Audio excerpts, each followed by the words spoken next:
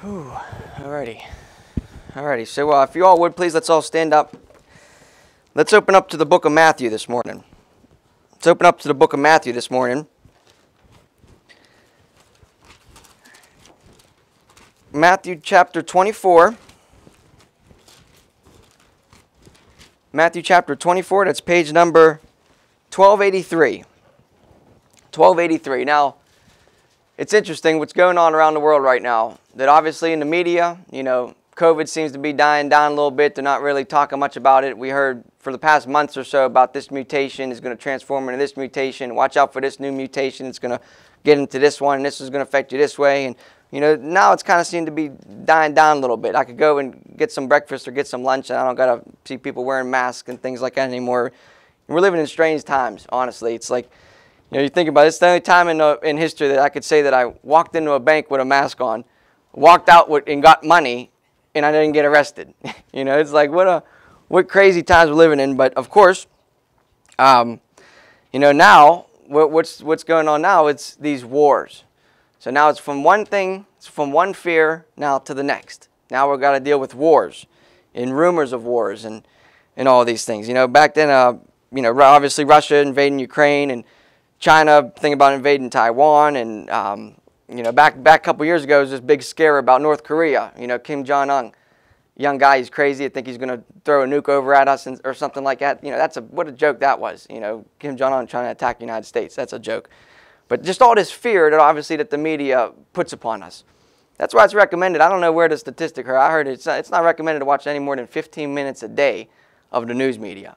And that's why it's important to come to church. That's why it's important to have, you know, personal Bible studies with, with you, your wife, your family, every single day. You know, it's me as a preacher coming behind the pulpit for one hour. I got to, like, you know, almost undo all the things that you guys have been saturated in throughout the whole week. Probably saturated into the wrong things and the hearing the wrong things. So you know, it's, it's important that we fellowship around the Word of God. It says over there in the book of Hebrews, not forsaking the assembling of ourselves as we see the day approaching. More so as we see the day approaching. So, you know, of course, they want to shut down churches. They don't want. To, they want to close the doors, and it's amazing. I hear from church, you know, churches out there that just lost their whole congregation. Churches just closing the doors because, well, now it's comfortable. Now I can just sit back at home. I can sit back, obviously, in my pajamas and my slippers, and you know, drink my cup of coffee and just I could just watch preacher on TV now. You know, that's what the that's not right. That's not good. We're supposed to assemble ourselves together personally. It's important. Now, uh, we'll just preach a little message this morning. Uh, Matthew chapter 24, verses 1 through 8. Let's uh, let's all read this here. Matthew 24, verse 1 through 8. Matthew 24, verse 1. And Jesus went out and departed from the temple, and his disciples came to him for to show him the buildings of the temple. And Jesus said unto them, See ye not all these things? Verily I say unto you, there shall not be left here one stone upon another that shall not be thrown down. And as his disciple, as he sat upon the Mount of Olives, the disciples came unto him privately, saying, Tell us, when shall these things be, and what shall be the sign of thy coming and of the end of the world? And Jesus answered and said unto them, Take heed that no man deceive you. For many shall come in my name, saying, I am the Christ, and shall deceive many. And ye shall hear of wars and rumors of wars. See that ye be not troubled, for all these things must come to pass, but the end is not yet. For nation shall rise against nation, and kingdom against kingdom, and there shall be famines, and pestilences, and earthquakes in divers places all these are the beginning of sorrows. Preach a little message this morning entitled The Beginning of Sorrows. So uh, if we all bow our heads, JP, would you mind blessing the message? Lord, um, we pray for your preacher this morning that he would just deliver us the truth, Lord, and uh, speak your word out of the authorized King James Bible. We thank you for it once again, Lord. Uh, in these last days, things will get worse, and it's just proving what the Bible is. Uh, Bible's already said, Lord. So yeah. Pray you just give us peace in, in these days, Lord, and just open our, our hearts to this message. And um, pray you bless this message in Jesus Christ's name. Amen. Thank you. Thank you. Maybe seated. Now, you know, obviously, you know, anybody with with the with the right mind, you know, the world is becoming just heavy with troubles. You know, obviously, you know, there's, there's so much so much anxiety, so much depression. Um, it's just it's falling apart all around us. You know, hopefully at the end of this message, this isn't to get you down into the dumps, down into the doom and gloom of it all. But this is these are actually exciting times for a Christian. You know, because you know all that. I don't really need to be saturated so much in the news media. I do believe it's important to okay know what's going on in the world, but always, always come back to the Word of God. Okay, so you look at the things going on, and you come back and you judge all things in this world by what this book says. Okay, you know Jesus just said all the main things. There shall be uh, verse number seven: Nation shall rise against nation, kingdom against kingdom. There shall be famines, pestilences, earthquakes in diverse places. That's what the news media says. You know, if it isn't if it isn't about they're trying to get you scared about pestilences or okay, then then we're going to try to get you feared up about wars and oh, he's going to attack me or he's going to North Korea's going to attack us or whatever. And if it's not about the wars and pestilences, well, now we got to watch out for the earthquakes. Now we got to watch out for the tornadoes and the tsunamis and all these other natural disasters and things that the uh, you know news media really uh, jumps on all those things. Um, let's just want I just want to look at a verse in Psalms chapter nine here. Just a couple verses. You know, obviously this week I was going to preach on the uh, the Godhead again, but last night I was just thinking, ah, this this should be covered. So I kind of just kind of put this thing together in an hour. I hope the Lord blesses it. Um, might be going all over the place, but we'll see. Hopefully, get a blessing out of it. Psalms chapter nine, verse twenty. It's page seven seven eight. Seven seven eight. It's a good good little verse here in the book of Psalms. Psalms chapter nine Psalms chapter 9, verse 20. It says, Put them in fear, O Lord, that the nations may know themselves to be but men. That the nations to know themselves to be but men. You know, government made up of a bunch of men. And, and, and the whole point, you, you look up at a, I think it's in this passage here. Um, let's see. Um, yeah, verse number 17. Look at this verse. The wicked shall be turned into hell, and all the nations that forget God. You got a government, obviously, that starts to forget God, that starts to pull away, you know, talk about the, the God of this Bible.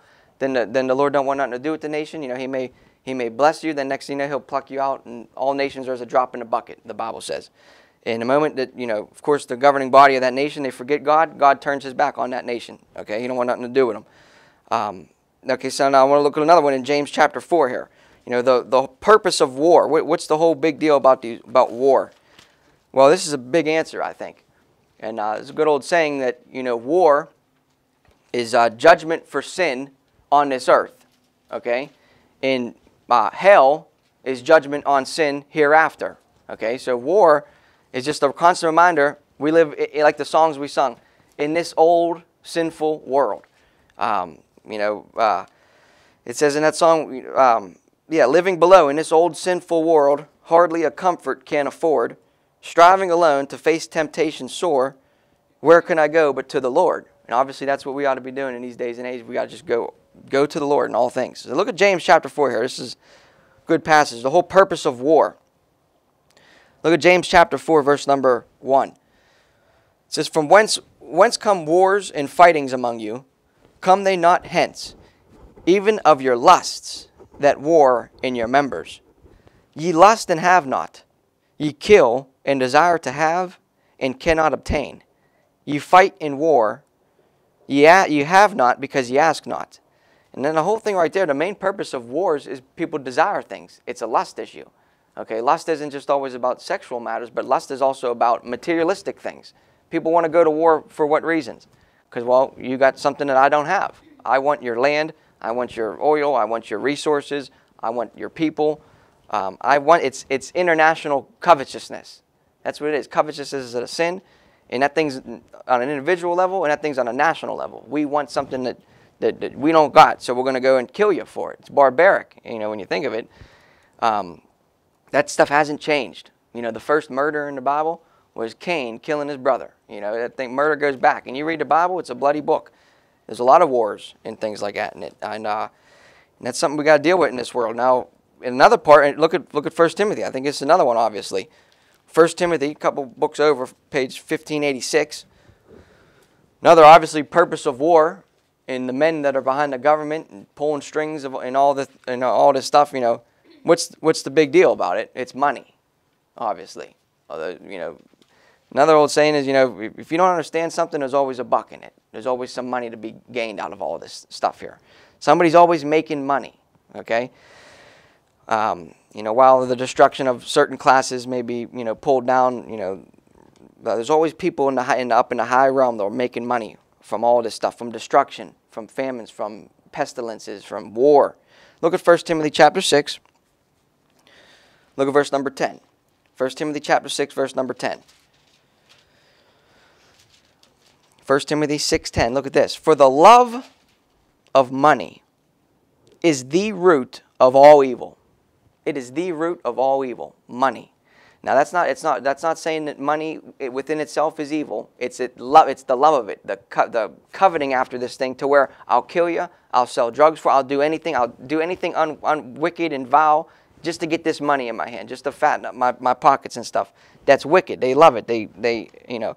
that's the whole thing. Obviously, in this world is, you know, you know that's why Jesus said, you know, we uh, you cannot serve God and mammon, and God is the and mammon is the money uh, is the god of money. So obviously, and that's what's sad is that's what mainly rules people in this world is I got to get up. I got to. It's just the the paycheck, my wallet, everything, just my bank account. That's what rolls me. That's what guides me. That's what motivates me. That's not right that serving. your mindset is just focused all on the money and not focused on God Himself. God will provide. Always remember that. You know, God may have blessed you with all kinds of abilities, but if it wasn't God for giving you those abilities, you wouldn't be where you at right where you're at right now. You know, always give glory back to God. You know, you, start getting carried away with the love of money. It says it's the root of all evil, which while some coveted after, they have erred from the faith and pierced themselves through with many sorrows. You know, there's obviously stories out there, people putting all their money in investing in stocks and all this, and next thing you know, they, the, their bank account's wiped out. What do they do? They go jump off a building or something. They go commit suicide or something, because all their their whole life was just just revolved around their money and things. Um, come to Galatians real quick, just to get an idea about this world. Come to Galatians, Galatians chapter one. Galatians chapter one.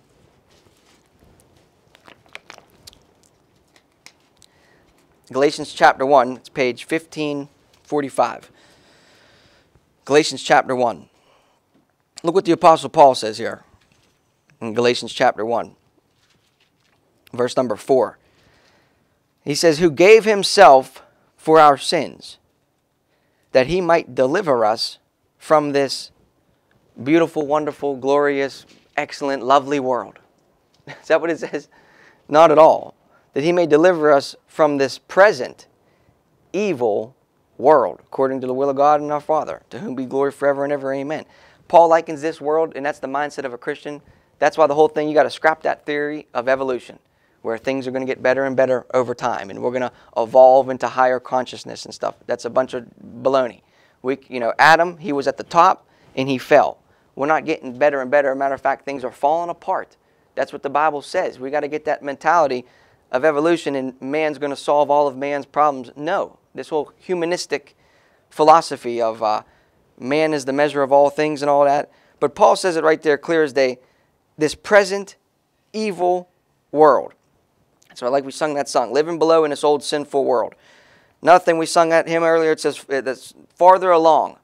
You know, it says, tempted and tried, we're oft made to wander. Why it should be thus all the day long while there are others living about us, never molested, though in the wrong. Now, that word molested, you know, you look at the 1828 dictionary definition, it means bothered, disturbed, troubled, annoyed. And that's the whole thing. You know, there's people around us never molested, though in the wrong. And you, you think about that, that verse in that song. We, as Christians, obviously, Bible believing Christians, we ought to be, we ought to be fed up with sin. You know, and if you're not fed up with sin, you're obviously you're, you're reading the wrong stuff. You're filling your mind with the wrong things. Uh, you know, people are not are not troubled these days with the promotion of drugs. There's people walking around that are not troubled by the promotion of uh, promiscuity, just flaunting themselves off and all this pride and social media and just you know we live in a generation that's crazy. You look at the media you look at all these social media platforms, Snapchat and, and, uh, and Instagram and TikTok and things. You know, there's a study on that where those algor- algorithms, they promote stupidity. Those algorithms, they promote stupidity when you look at it. Because it's crazy. These people, all they do, they get up on this thing, on this, make a 15 second clip, showing themselves, being promiscuous, they get millions of dollars. They get rich over this stuff from advertising themselves like that. Young people, they're coming at the youth with, with all that. It, and then you go over to China's algorithm with the same platform.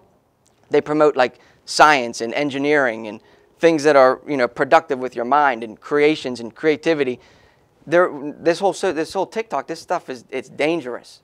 It's dangerous to society. You can look up a bunch of articles on that stuff about social media, you know, and how and how it just promotes people being stupid. You know, you look at this stuff on this other thing, people just stuffing their faces, eating all kinds of food, for what? For views. They get these views, and then what happens? Then they get all this money. While people are busting their back over, you know, doing a labor job or, or sitting behind a, an office figuring out these, these, you know, computer programs or whatever, or whatever it may be. But there's people out there getting rich off of being stupid. You know, what, what, kind of, what kind of world is that, you think of it? The Bible already has that whole number. The Bible says in the book of Isaiah, Woe unto them that put good for evil and evil for good. So things get warped what was once thought was bad and evil, ah, now it's okay, now it's good. We live in a different generation, different times. The Word of God don't change. That's why this is our, our, our standard. I'm not to overthrow this thing and say, you know, let's just keep up with the times and stuff. Forget about that, okay? Um, you know, there's another hymn that goes, uh, This world is not my home. I'm just passing through. My treasures are laid up somewhere beyond the blue. You know, my, the angels beckon me from heaven's open door and I can't feel at home in this world anymore. And that's the thing, obviously, of them old preachers back in the day. It was to always get you not live you know comfortable down here in this world, but to really stir you up to make you homesick for heaven. I want to be home with my Lord. I want to be home and, and, and, and see my you know my loved ones that are up there. I want to I want to see the Lord. I want to you know see the one that loved me enough to die for me and things. And you know nowadays Christianity is all flipped. It's all about how can you have your best life now and all this prosperity and you know God wants you rolling around and, and, and just swimming in all kinds of wealth and things, all this positive psychology stuff. Uh, look at the Apostle Paul's life. Look at the Apostle Paul's life. And you see, he's the pattern for us Christians. The Apostle Paul, man, he was persecuted, he was thrown in jail, he was uh, shipwrecked, he was beaten, he was whipped. The guy had no kids, the guy had no, no home. The guy had no, he had two clothes on his back, you know, a, a jacket. That's the Apostle Paul. Because all the prosperity, all the riches, he, that's heavenly minded, man. He was thinking about the long run. He was thinking about eternity, not all down here. Um, and, and, that's the whole thing. We, I can't feel at home in this world anymore. That's true. Uh, let's look another one. Look at 2 Peter chapter 2. 2 Peter chapter 2, verse 7 people always ask us thing, well, God, all this stuff, if God was so good, he was all powerful, why are we still suffering? You know, well, what's the point of suffering? Suffering, man, that's to get you stirred up because I don't want to be down here anymore. If this was heaven on earth, what would be the point of me dying and going up to heaven? if I could just have a perfect life down here on earth, what would be the purpose of me dying and going up to heaven where things are perfect? Because this world ain't perfect. It's sinful. It's wicked. And I'll tell you, the hardest thing to get that through is through the head of younger people. You know, that thing, I was fighting that thing forever. You know, I come getting into college and getting into school, I'm going to conquer the world. I know every single thing. Ain't nobody going to tell me nothing. How many people, young people, were ever like that? Or was that just me? you ain't going to tell me nothing. I'm a philosopher. I got this thing all figured out. Next thing you know, Lord had to really knock me down and said, You're dumb and stupid. You better humble yourself, you know? Humble yourself to me, and then I'll, I'll build you up slowly. Your, my whole process was wrong when it come to, come to the world, honestly. I thought this world was a decent place thought this world was good and you know the, the greater good of mankind and all that. I, I was deceived big time.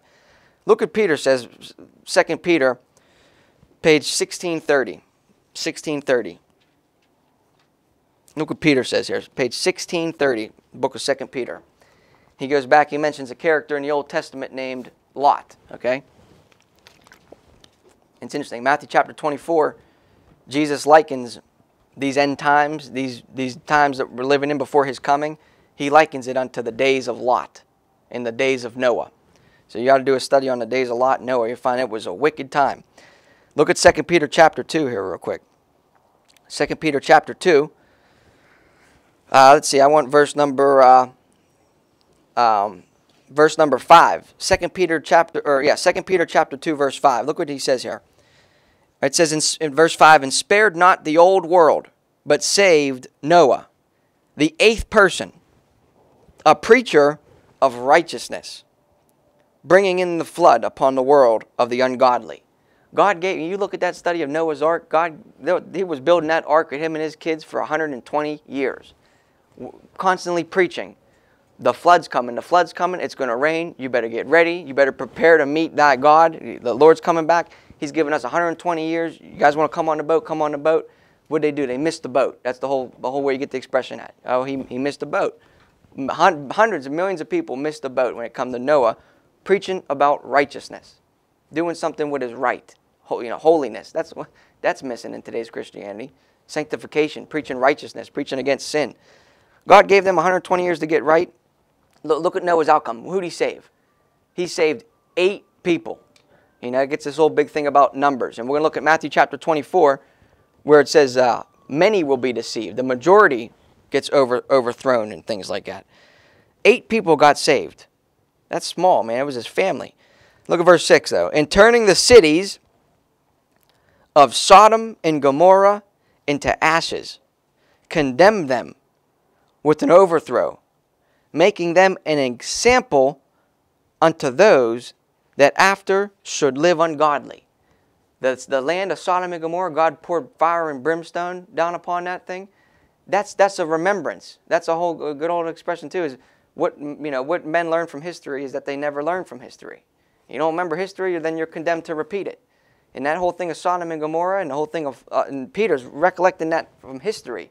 Yeah, that's what God did. He flooded the world because he was fed up with, with sin. It says in Genesis, every imagination of the, of the thought of men was only evil. And then you look at then you look at Sodom and Gomorrah. What was wrong with them? Now, the whole big thing is, of course, homosexuality. Yes, that was wrong. They were. You look in Ezekiel; they were prideful. They were, they were lifted up with the abundance of bread. They had all kinds of food. Now listen, this sounds like America. they were uh, uh, homosexuality. They were lifted up from the abundance of food. Uh, prideful. Um, and there was one more. Um, oh, an abundance of idleness. an abundance of idleness. They didn't do nothing. They sat around and had a good time and drank and just idleness is in the land. God overthrew that city for those sins. We do a whole study on Sodom and Gomorrah. And that's, you know, like I said, I've been watching some cool stuff on archaeology. That city's still around today. That should be a big highlight mark. You know, this should be this should be on the news. This should be mainstream in the science textbooks. Look what God did to this city. And you read about Sodom, that place was well watered. It was as the garden. It was as the Garden of Eden, Sodom. That's why Lot went down to the city. Because that place was good. It had water, it, had, it was beautiful, it had these trees. You look at that thing today, present day, that thing's nothing. You can see the structure still there. Nothing but brimstone. And they're carving these brimstone out of the rock of this wall. It's like 98% brimstone. They're lighting this stuff on fire. It's everywhere. Pure brimstone. That's a sign of God to say, look what I could do to a city 3,000 years ago. You can see highways in it, and now look at it. It's gone because of them sins. Look what now, anyways, look at verse 7. And delivered, now look what happened. People got saved from that city and delivered just Lot Look, look, look what Lot, vexed with the filthy conversation of the wicked. For that righteous man dwelling among them, in seeing and hearing, vexed his righteous soul from day to day with their unlawful deeds. We ought to be vexed. Now, that definition for the word vexed means provoked, irritated, troubled, agitated, uh, disquieted, afflicted. Lot was, go, was around that land in, you know, uh, I forget the number. How many people were saved in Sodom and Gomorrah? Lot, what was it? Was it eight or nine that, that, fled? Yeah, under, under 10 people were saved in Sodom. He called them out. And it says, but Lot, his righteous soul was vexed day by day. And that's, that's, that should be us Christians, should be the same thing. We ought to be looking around at all this sin. We ought, it ought to vex us. It ought to discomfort us, in a sense. You ought to, you know, people say, ah, well, who cares? What can I do about it? You know, I got my own life. I got my own troubles. I, you know, all around this, it's sin. We, and as Christians, we are not to, you know, have a low attitude towards that and just push that aside and make everybody feel comfortable when we're not supposed to feel comfortable. And Lot was, was vexed with the filthy conversation of the wicked. We ought to be vexed when we hear foul things, when we hear wrong things. But that's the problem with media, watching movies, filling your mind with the wrong things. You become desensitized to it. So ah, it's, it's not a big deal, you know. Well, it is a big deal. You know, back in the day, men wouldn't even cuss around or cuss around a woman. When a woman came in the door, they'd say, "Oh, we got to clean up a little bit. Let's watch our mouth." You know, not a, men are cussing like crazy. Even the women, women got mouths like like truckers and stuff. That's not right. It's not good. You know, uh, and it should vex us in the conversation, the way that people live, and things like that. Um, you know, Peter it says there, Lot's righteous soul was vexed day to day by the filthy conversation of the wicked. Come to uh, come to Matthew chapter five.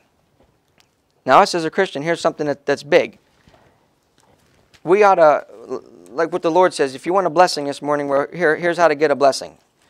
Matthew chapter 5, verse 6. It's page number 1241.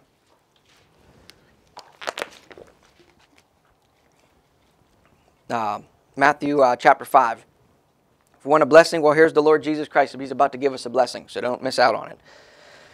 Look what Matthew chapter 5, verse number 6 says.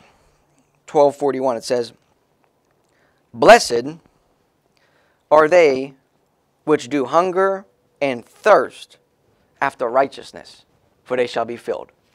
If you want a blessing in your life, if you want spiritual power, spiritual victory, you ought to be hungry and you ought to be thirsty for righteousness. And that's a lot of people, they don't care about that. They don't want righteousness, you know, because righteousness tells you, man, me and tell me, Lord, I can't be doing this thing anymore. You know, I know this, I know this thing's unclean. I'm going to put it in my body. I know I shouldn't be watching this, and you mean tell me I can't do this stuff anymore? You know, we, we, who are we? We start arguing with the Lord. I got to I got to give this thing up here. Yeah, it's not right because it's un, it's it's it's filthy. It's un, it's unrighteous. That's why there's no power. There's no spiritual power in our walk with God, because at the end of the day, people don't care about righteousness. They don't thirst after it. They don't got a desire. They don't hunger after righteousness. You know. And, uh, and there's another thing a lot of Christians lost. Look at Psalms chapter 69. Psalm 69. We lost that, that righteous indignation, is, is, is what it's usually called. Meaning, you know, we ought to pray, you know, and this the whole thing, this whole thing about righteous indignation. We ought to pray sometimes for the Lord to destroy people. and you say, well, whoa, what do you mean? Look what Paul said to the, to the, in the book of Corinthians. Deliver that guy over to Satan for the destruction of the flesh. But in the day of the Lord, that his spirit may be saved. He's even talking about another Christian. He said, Look, if he was a genuine saved Christian, he ain't living right. Deliver him over to Satan. Satan will destroy his flesh. But in the day of the Lord, that his spirit may be saved. You know, once saved, always saved, no doubt about it. But your flesh can get delivered over to Satan, and Satan will destroy you. Now look at this in the book of Psalms righteous indignation. Look what David says here. Look at Psalms 69 here. I'll give you a chapter of Psalm 69. Look at verse number look at verse number 24. David's writing, he says, Pour out thine indignation upon them, and let thy wrathful anger take hold of them. Let their habitation be desolate, and let none dwell in their tents. For they persecute him whom thou hast smitten, and they talk to the grief of those whom thou hast wounded.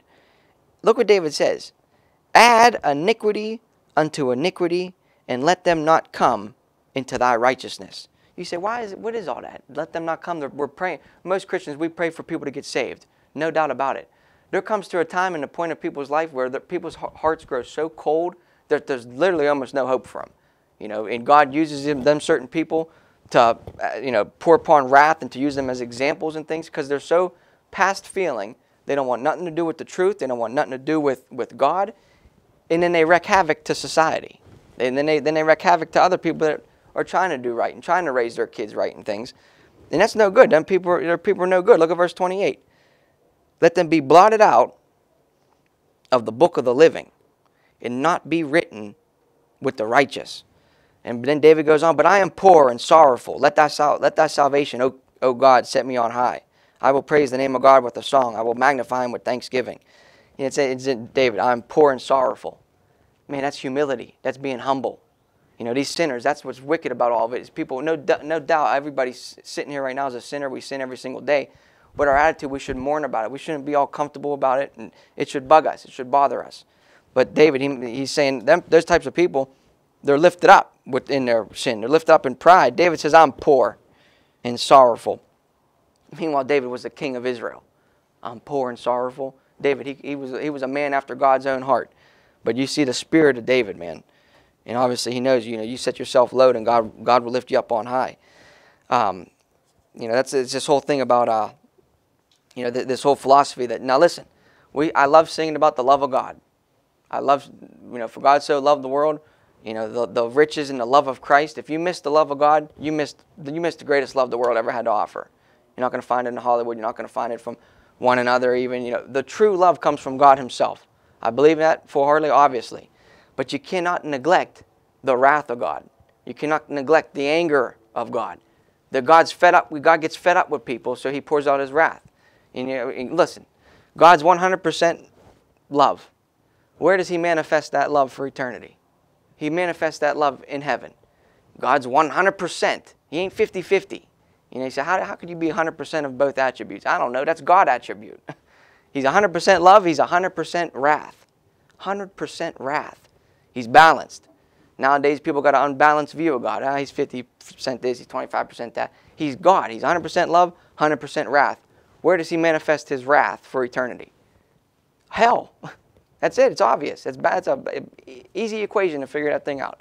He manifests his love in eternity in heaven. He manifests his wrath in hell for eternity. They're both forever.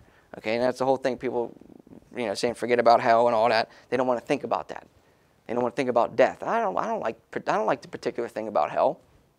Who does? Who likes to think about man? I know right now people are dropping, like just dropping down into the heart of the earth. Scientists will tell you there's molten nickel down there. You know, they don't tell you there's no souls down there. There's people, there's souls down there. As, as, as we're sitting here, that's why people get so comfortable and so caught up in the world. That's why the devil raised up television and, and, and, and media and all this entertainment and all these hobbies and all these little things to get you so distracted from the spiritual realm. The devil got people bound by that stuff. And it may be good things. You know, hey, what's wrong with you know what's wrong with, with going fishing? Well, there ain't nothing wrong going fishing unless you put fishing above the things of God. You know, the devil can use all kinds of things to get you distracted. You know, what, what's I know people. What's wrong with, with snowboarding? What's wrong with golfing? What's wrong with hunting? What's wrong with all those things? There's nothing wrong with them. Okay, They're, they may be good within themselves, but when those things take a hold of you and you know, you're, you're starts. You know, I got, I got to miss church. I got to go on this. I got to go snow. I got to snowboard. I got to go fishing. I got to go hunting. I got to do all these things. Can't come to church. Can't read my Bible then you gotta we gotta watch out because the devil can use a good thing and twist that thing. Okay, and just a little warning. All right, now next point I'm going to talk about here real quick is just the uh, United States of America. Okay, the USA. Um, you know, it's you know, well, just a real quick point. The church has become so ignorant to what is in store for the future. The church, Christians, we're supposed to know the truth, and a lot of it, they just became ignorant of what's going to happen in the future to when obviously when things really break loose in America, they ain't gonna know what hit them, because most of the, like I said, I never I never put the blame on on the on the on the on the sheep. It's always the the people feeding the sheep. They're not feeding them right, not feeding them the right food, not warning them, You're not telling them, hey, watch out for this, look out for that. It's all about this this good stuff and how to feel comfortable. You gotta watch out. You gotta have warnings. You gotta have have those things, and um, you know that's what you, you gotta just be aware of that. Now listen, now. I was thinking last night, God gave us two presidents over the last two terms that really sum up the state of our nation in the state of Christianity. We could learn a lot from Donald Trump. We could learn a lot from Joe Biden. We learn a lot from them. Those two, that's a, those are perfect. God put them people in office to show you the state, I believe, the state of Christianity. You look at Donald Trump's character. What was he? He was prideful. He was perverse. He had a big mouth. He was all talk, you know, stuff like that. Just, just coming in the room and uh, lustful. He said some, you know, said some wrong things and stuff like that. Uh, he, he, was, he was lukewarm at best. He was a lukewarm Christian, Donald Trump. Well, that sums up the, the day and age we're living in as a whole, as us Christians, a bunch of lukewarm Christians. And you look at Joe Biden. Guy's tired. He's sleepy. He can't remember what he's doing, where he's at, what he got to say. You know, we always make fun of him, Sleepy Joe. Well, a lot of you Christians are like Sleepy Joe. Really. A lot of you, a lot of you Christians sitting here, you guys are like Sleepy Joe. You don't care. Yeah, what, what was I going to say here? I forget. What, what, did the preacher just talk about on Sunday? Oh, I forget. What did I just read last today in my Bible, my daily reading? Oh, I forget. You know, people, Christians, are like Sleepy Joe. They're like Donald Trump. They're lukewarm. There's two presidents. It, it just, how that thing fits, it just, it's like, there's a perfect picture of the state of America. They represent, supposed to represent America. Well, a lot of rep- Christians are like Donald Trump. A lot of, uh, a lot of people are like Donald Trump. A lot of people are like Joe Biden. Look at the book of Hebrews real quick. You know, Christians today, they're consumed by lust. They're all talk. They may go to church, they may read their Bible, they may say a couple prayers, they may go, you know, they may be spiritual around one, one, one group of people, and the next thing you know, they're completely different around another group of people. They're like chameleons. And then, uh, you know, we got come to where was it? Hebrews, Hebrews chapter 12 or Hebrews chapter 2. Look at this verse, good one. Hebrews chapter 2, 1599. Hebrews chapter 2.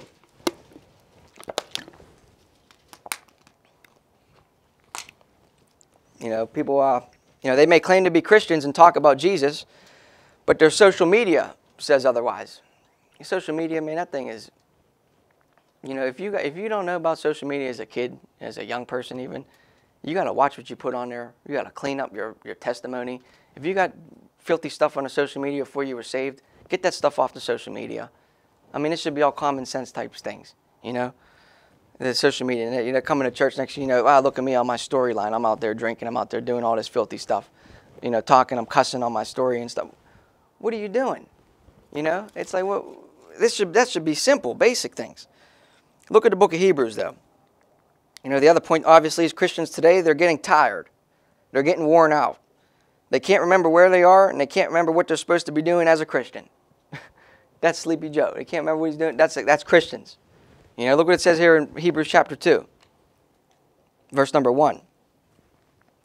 Therefore, we ought to give the more earnest heed to the things which we have heard, lest at any time we should let them slip. It's a great verse. We got to take the more earnest heed. We got to take this stuff way more seriously. You come into church, and we, you know, a lot of people they just want to get their ears tickled and things, but we got to remember these things. We got to meditate upon the Word of God in and you know, the whole thing, you know, people, oh, I don't care how many times you've been through the Bible. You know, I've been through the Bible four times myself. Well, okay, big deal. How many times did the Bible really get through me, though? You know, you can read this whole thing and read it and read it, but if it ain't doing nothing in your life, what are you, what are you doing? What's, something's wrong, something's off. most of the part's always our part, obviously. You know, we don't want to yield. We want to hang on to, I want to hang on to what I want to do, that, that, that pride, that spirit of, of the devil. It's what caused him to fall. He was prideful.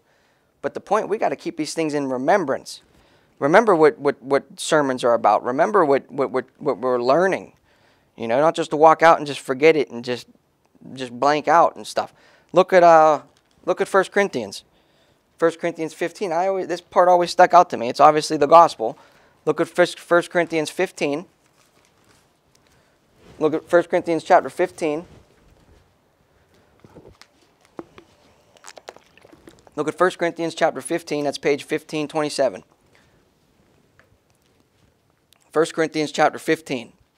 this is a big one. You know, there's times I'm just thinking about my day. Man, thank you, Lord, you saved me. You know, thank you, Lord, you shed your blood for me. Thank you, Lord, you buried, you resurrected the third day. You know, like that song we sung, one, one day.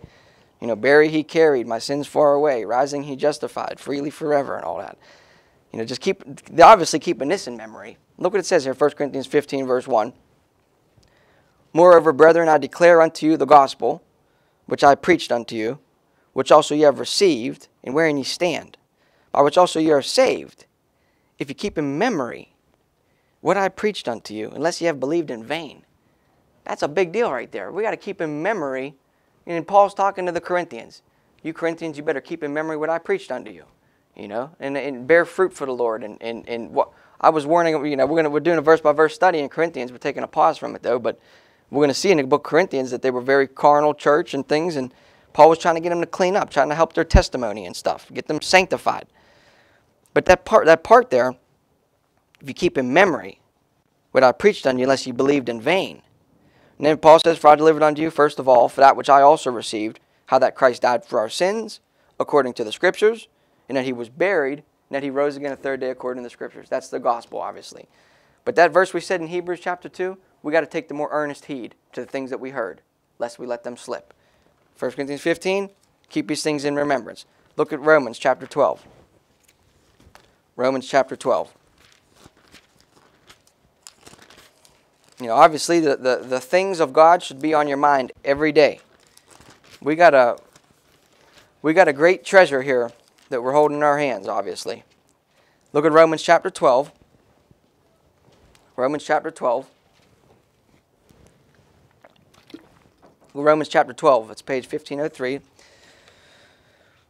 Romans chapter 12, I went verses uh, verses one and two. Look what it says here, Romans twelve, verse one.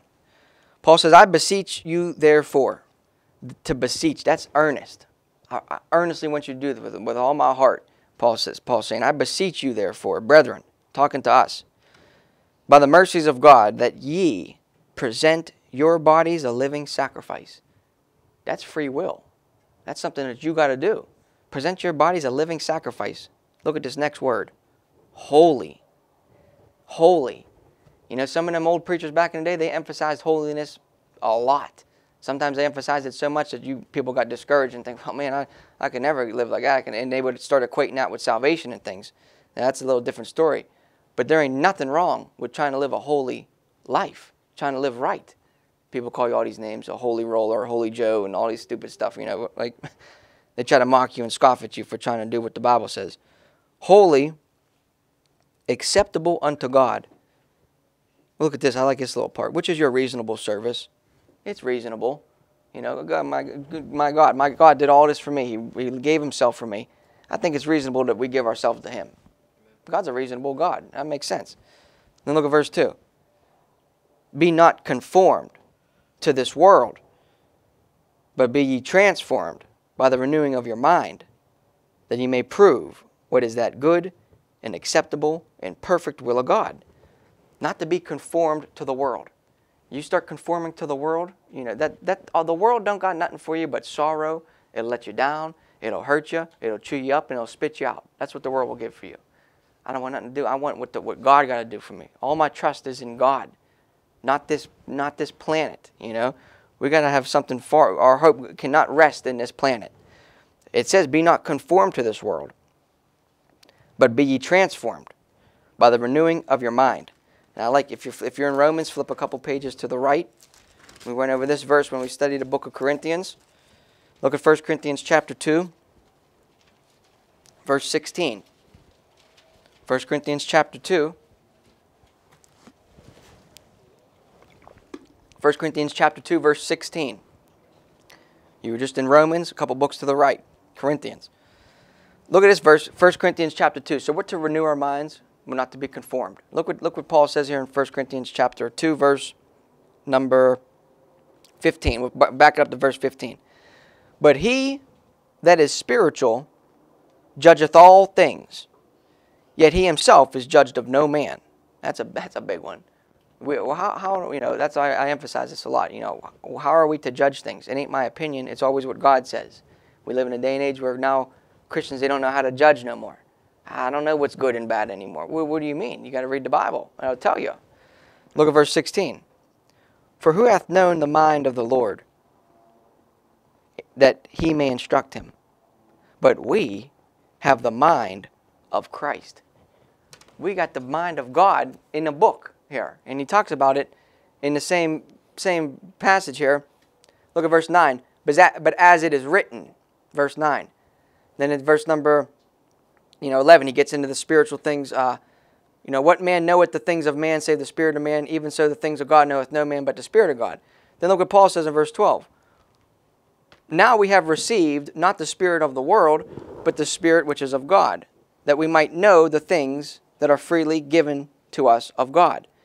Then look at verse 13. The things which we speak not in words of man's wisdom teacheth, but which the Holy Ghost teacheth really, when you look at it, the Holy Ghost, he gives, he gives us words. Well, what words is he talking about? It ain't writing on the wall. I don't get no extra revelation from what God told me or nothing. The words of God, the mind of Christ, the mind of God is found in his book. And then it says comparing spiritual things with spiritual. So obviously, we ought to be analyzing the things going on around us and consulting God's word about the matter. Okay, now let's break it down a little bit, you know, practical. Consulting God's words, obviously, on social matters, consulting God's word on, uh, on family matters, uh, consulting God's words on the duties of marriage, um, you know, consulting God's words on God, what do you want us to do next? You know, consulting God's book when we need answers, obviously. I believe everything we need to know is in this book. You know, it might not tell us how to, you know, how to cook a steak dinner or how to do this, you know, how to do this science project or figure out this quadratic equation or something, but it tells us everything that we really need to know at the end of the day. Now look at um, Look at 2 Timothy chapter 3. 2 Timothy chapter 3. Okay, 2 Timothy chapter 3, verse number 1. Okay, 2 Timothy chapter 3, verse number 1. It's page 1590. These are things we all ought to know. You know, I went over, uh, over and over and over again. But look at first, you know, but there's the thing, people sometimes they tend to forget it. They let these things slip. 2 Timothy chapter 3. Look at verse number 1. It says, This know also that in the last days, what's going to happen? Anybody want to say what's going to what's it say? Perilous times shall come. Look at this thing. He runs down the list. The Apostle Paul runs down the list. And you tell me if this doesn't fit this present age.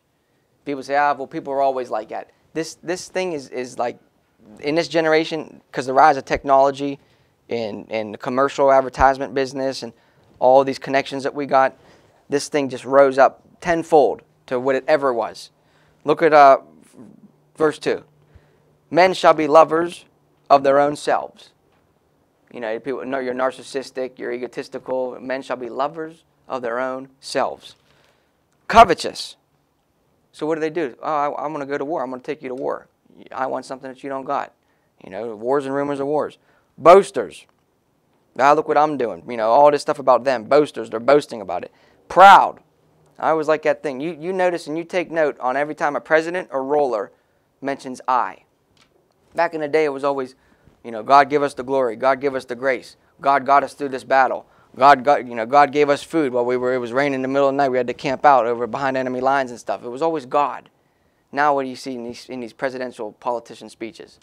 I'm going to do this. I'm going to do that. I'm going to do this for you. I'm going to do that for you. It's all about I. You count how many I's are in their speech. That shows you obviously how, how proud they are. Then it says blasphemers. They're blaspheming God, you know disobedient to parents. Now it's an attack at the children. Disobedient to parents. You know, and parents that want to raise up their kids the right way to do things right, say, watch out for the things of the world, the kids are going to, they're going to rebel. And it says in the book of Isaiah that the woman will roll over the man, and the children, the women and children will roll over the man. You know, nowadays the children are trying to roll the parents. And the parents, they're just so lost. They're so, they don't know how to discipline. They don't know how to do nothing. They're just, it's like a, it's just it's a zoo. It's crazy. And then the women are going to roll over the men. It's interesting. We got a first woman vice president. You know, and, and I, you know that's just how God set things up. Men are different than women. There's certain roles. We're not to we're not to equate those two to be the same. That should be common sense. But it's not no more. Ain't that something? Uh, men are men and women are the same same things. We're equal. You know, what do you mean we're equal? We have different roles. We were set up, instituted by God with different characteristics, different things, different personalities. I've never seen a, a, a, a army of women uh, ever take over a land. It's always men. You say, oh, well, you know, you're chauvinistic, you're sexist. No, just how things work. This is how God ordained it to be.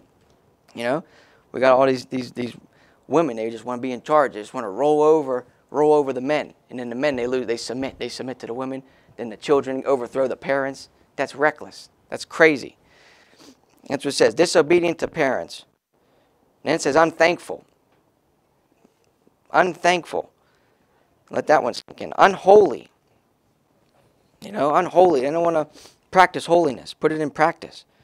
Without natural affection. Reading a story the other day, this woman, she's taking care of kids, she decapitated the kid. And then she decapitated the dog. Then she called the police and said the, the devil was attacking me. And then the police comes in the door and they see blood everywhere. They see a, they see this, this gruesome, violent scene, and she's in there singing. She's in there singing. That's demonic possession. That's something spiritual, man. Without natural affection, you're going to do that to a child.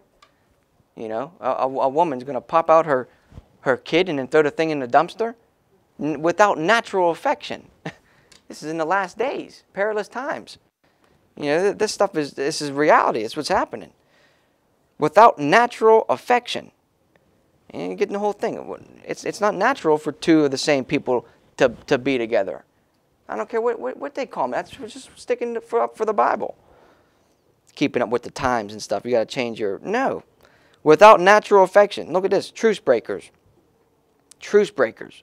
That's a big one. I have to be on an international level. I used to be my ally I used to have your back, now forget about it. Now, obviously, that thing goes around in a whole, down to a big scale, down to small individual scales, truce breakers. Now, and that's easy. People divorce. God never wanted, never, never wanted divorce. God never divorced. He's never going to divorce me. I'm, I'm married to Him forever. And next you know, I, I, we, we bicker. We have our first, our first little fight. And what, what, what am I going to do? Run down and get a divorce? I'm going to be a truce breaker after I just told, get told vows and stuff. You know, now people they just they're truce breakers. When it comes to marriage and all that stuff. False accusers. Look at this next word. Incontinent. They're just they're not content with nothing. They're incontinent. No no no restraint. Look at this. Fierce. Um, they're they're killers and stuff. Fierce despisers of those that are good. You got to watch out for that because now if you're trying to do good, they're going to despise you. They're going to try to do whatever they can, whether they use their tongue to try to bring you down to where they're at. And look at traitors, uh, verse 4 traitors, heady, high minded. We're trying to get to the moon, we're trying to get to Mars. I mean, we're living in a day and age that people are so high minded, obviously. Look at this lovers of pleasures more than lovers of God. I don't say that they just don't love God completely. That's what I look at it as like being that's lukewarm. I'm, I'm, I'm God. I believe in God. You know, the man upstairs and spiritual, and I, you know, I go to church and stuff. May say all this stuff, but it says lovers of pleasures more than lovers of God. Now what? Well, look what it says in verse six. Well, verse five, having a form of godliness, but denying the power thereof. Denying the power thereof. You know, that's why blessed are they which thirst and hunger after righteousness, for they shall be filled. They don't, they're not thirsty for righteousness. They don't want no spiritual victory. Look what this says, though. From such, turn away. You get away from them. You separate from them because they're going to try to bring you down. So you fulfill those things in that list. so what's Paul say? Get away from them. From such, turn away. For this sort are they which creep into houses. They creep into houses and lead captive silly women laden with sins, led away with divers lusts. Verse 7 Ever learning and never able to come to the knowledge of the truth. They're learning the wrong things. Come across in verse 12. Same chapter, verse 12. Yea, and all that will live godly in Christ Jesus shall suffer persecution. And the persecution comes in various forms.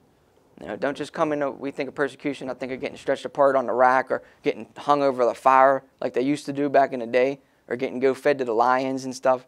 Or persecution in America, praise the Lord, it may not be that extreme. It may get to that point. I hope that it doesn't.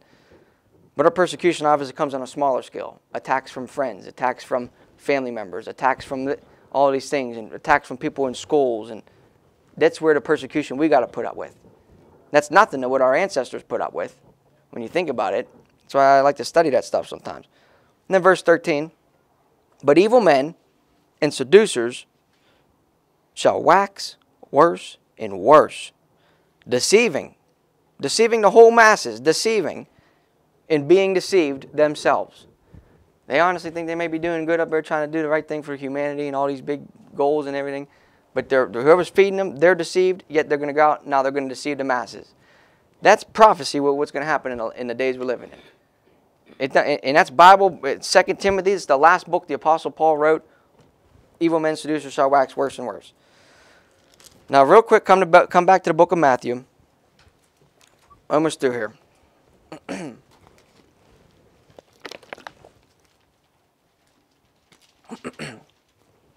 book of Matthew, chapter 24.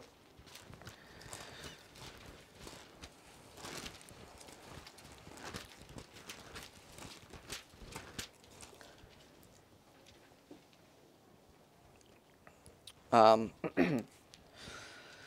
Matthew chapter 24. No way in the world I have time to expound this chapter. But Matthew chapter 24, I just want to point out a couple key things in verse number 5.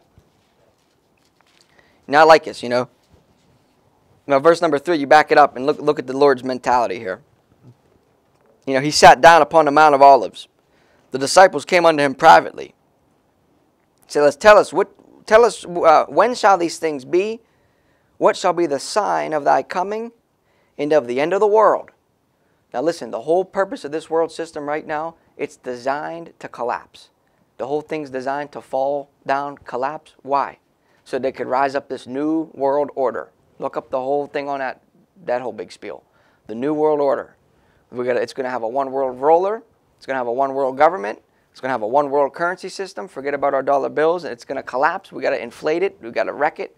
They're going to usher in this this system of a one world currency, one world court. All this globalization. We're going to come together, and that thing's going to be ran by the devil himself. We studied two weeks. God manifest in the flesh. God in the flesh. Well, the tribulation period is coming up in the future. It's the devil in the flesh. It's called the mystery of iniquity. We'll study that maybe in a couple weeks. But um, that's what's happening. And Paul says the uh, or one of the disciples said that at the what would it be the sign of the coming and the end of the world. The end of the world as we know it, like right now, the end of this age in a sense. Now verse 4. And Jesus answered and said unto them, Take heed that no man deceive you. Take heed that no man deceive you. And obviously Paul says evil men and seducers are going to wax worse and worse, trying to deceive you while they're deceived. And then look, look at verse 5. I have a couple of things highlighted in my book here. Verse 5 For many shall come in my name, saying, I am the Christ, and shall deceive many. That's what this world's going to look for. They're going to look for this one man that's going to solve all these issues. It's going to be the devil himself. And no, no doubt he's going to use technology and these quantum computers and be able to look at look what's going on with Elon Musk. The guy's trying to implant a chip into, into your brain so that I could sit up here and tell you the capital of Zimbabwe. And I just said, hold on, let me think about it. And I'm tapping into my conscience, and it's going to spit out facts like that. They're trying to tie up man and machine and things like that. This is stuff was back on the Sci-Fi Channel years ago. Now this stuff's coming to reality. I mean, it's crazy. It's crazy. Now, anyways, people are going to say, I am the Christ, and deceive many. You shall hear wars, rumors of wars. See that ye be not troubled. For all these things must come to pass, but the end is not yet. For nation shall rise against nation, kingdom against kingdom. There shall be famines, pestilences, and earthquakes in divers places, places that don't usually get earthquakes. All these are the beginning of sorrows. And look what he gets into. Then they shall deliver you up and be afflicted, and shall kill you, and ye shall be hated of all nations for my name's sake.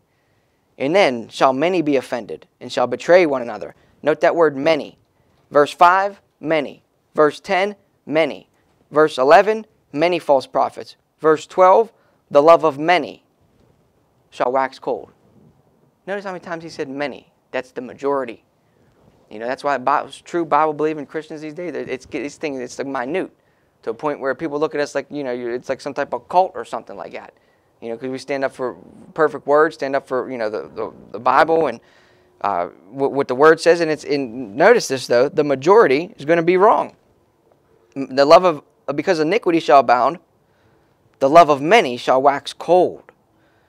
But he that shall endure unto the end shall the uh, same shall be saved. And the gospel of the kingdom, which is preached unto all the world for a witness unto all nations, then the end shall come. I don't got to get time to get into all this. Okay, we, we're saved by the gospel of the grace of God, 1 Corinthians 15, 1 through 4. The gospel of the kingdom is a complete different gospel that now for doctrinal teaching on this passage, this passage is directly aimed to the Jews. Now, because that gets the whole thing. You see, you study the Apostle Paul. We're caught out before this time. He's talking to the disciples.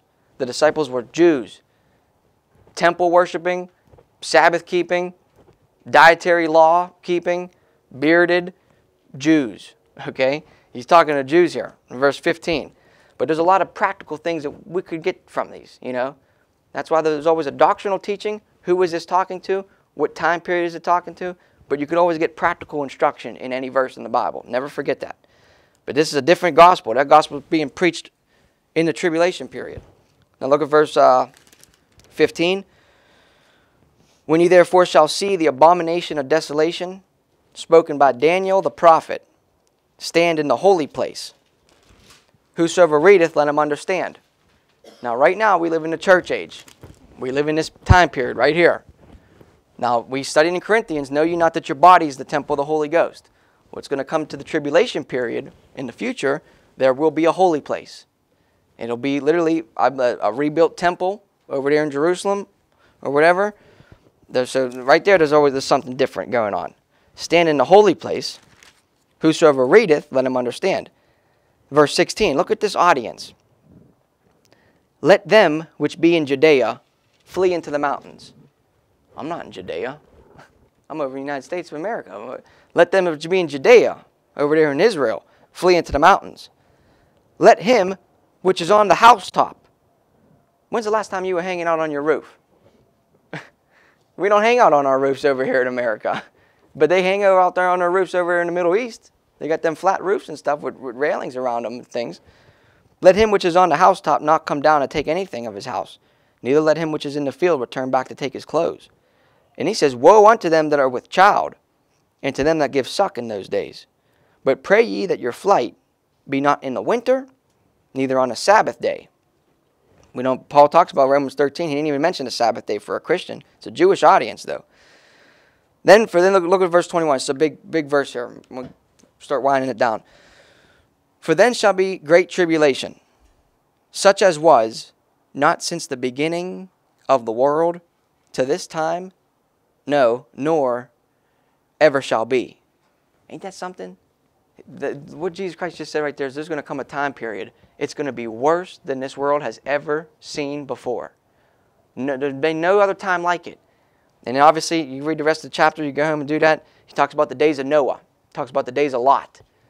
And I studied them days. That was were wicked times. And the Lord Jesus Christ said it's going to be worse than the days of Noah, worse than the days of Lot. God flooded out the whole earth.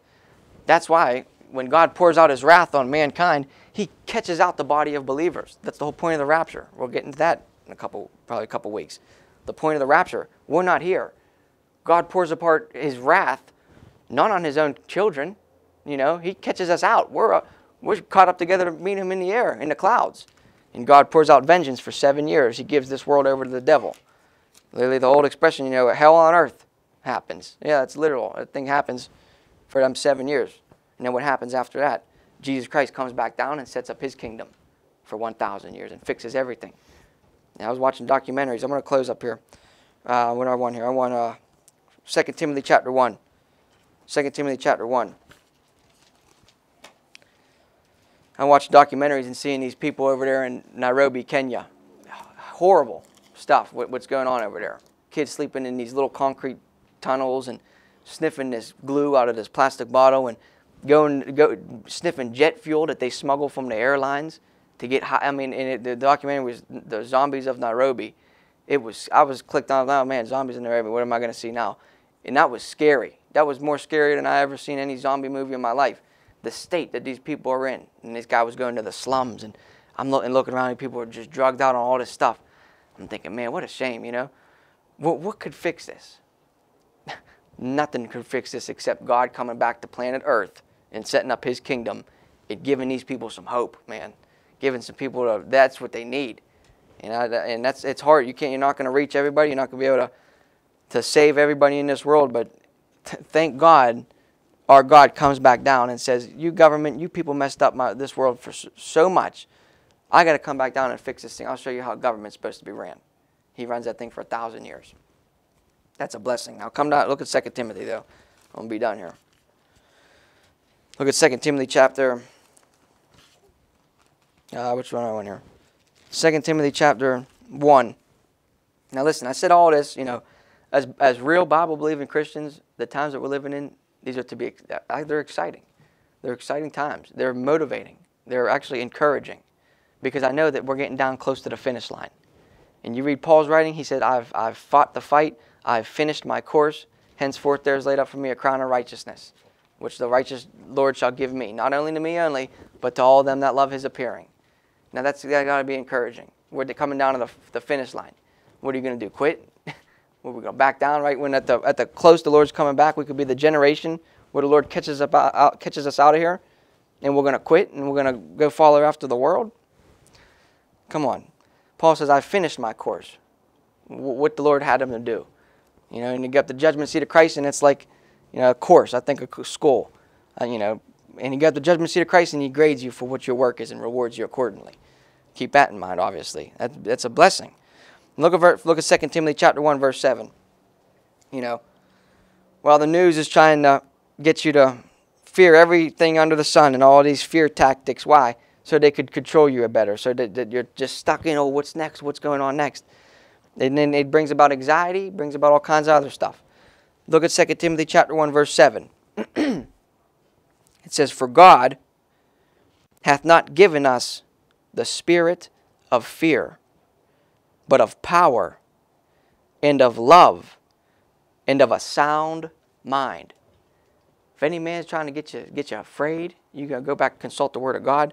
It's comforting. Uh, you get power, spiritual power within your walk, and it gives you a sound mind. What I gotta what I gotta believe, what I gotta think about, and all this stuff. Um, look at look at Philippians. A couple more verses. Um, Philippians chapter four. Uh, that's page 1565.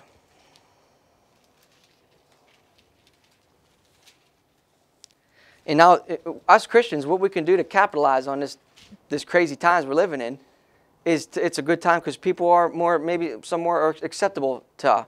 I need some hope in life. I need, I need some to help guide them a little bit, give them the gospel. You know what people are missing? They, they're missing the peace, the peace with God, and they're missing the peace of God. How do I get the peace? How do I get peace with God? When back in the day I was an enemy against Him, I was I was an alien against. Him. I was I was a foreigner. I wasn't a citizen of God. I wasn't a child of His. Well, in order to get peace with God, you got to go through the blood. It says it in Romans chapter five. Therefore, we have peace with God uh, through our Lord Jesus Christ, you know, who gave Himself for us and things. It's the only way people to get peace with God, and then the peace of God. That's more conditional. You know, the peace of God. Look look look at uh, Philippians four verse uh, six. I like even verse five, like verse four. Rejoice in the Lord always, and again I say rejoice. Let your moderation be known unto all men. The Lord is at hand. Be careful for nothing, but in everything, by prayer and supplication, with thanksgiving, let your requests be made known unto God. You do those things right there, and the peace of God, which passeth all understanding.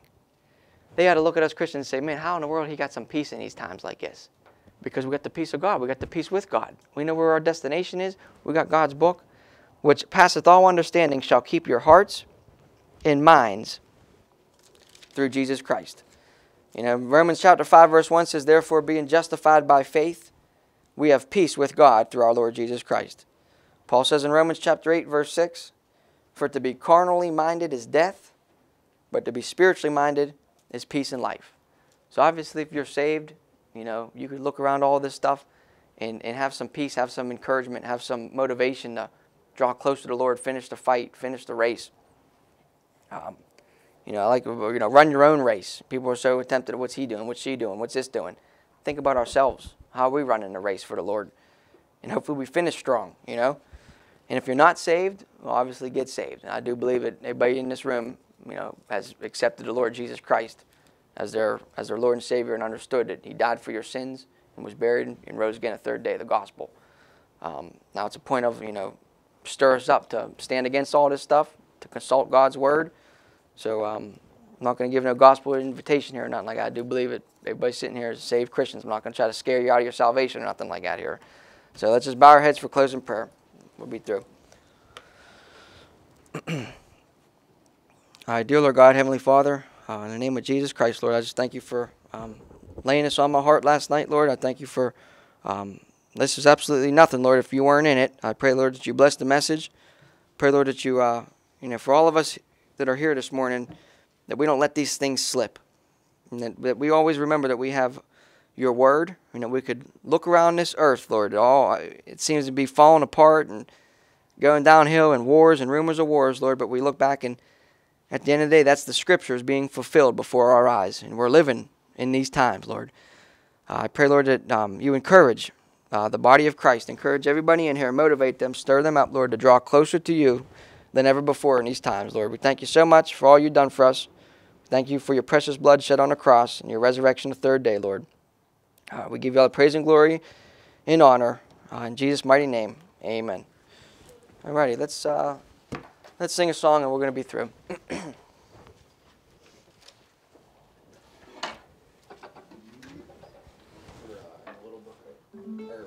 uh, Red Book.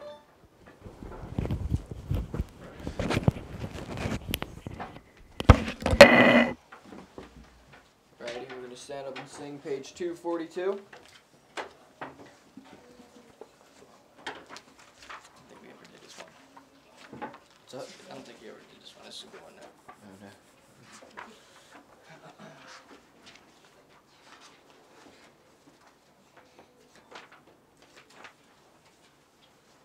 I have not done this one. One, two, three, and four. One, two, three, and four. Jesus I Come, page 242.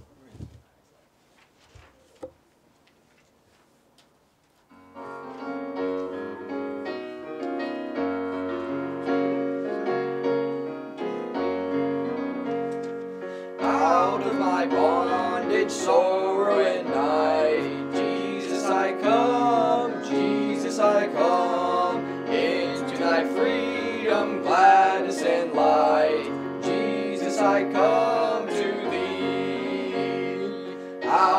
sickness, into thy hell, out of my want, and into thy wealth, out of my sin, and into thyself. Jesus, I come to thee. Verse 2 Out of my shameful failure and loss. Jesus, I come. Jesus, I come into thy glorious gain of thy cross.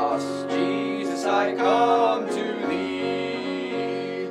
Out of our sorrows into thy balm, out of life's storms and into thy calm, out of distress to jubilant psalm. Jesus, I come to thee.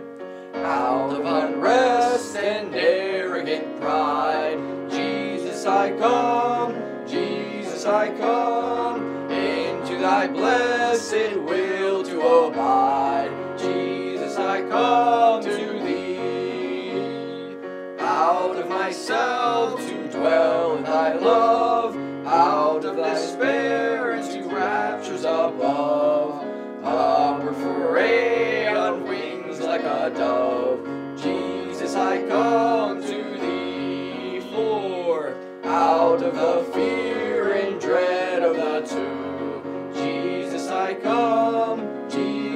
I come into the joy of the light of thy home. Jesus, I come to thee. Out of the depths of ruin untold, into the peace of thy sheltering fold, ever thy glorious face to behold. Jesus, I come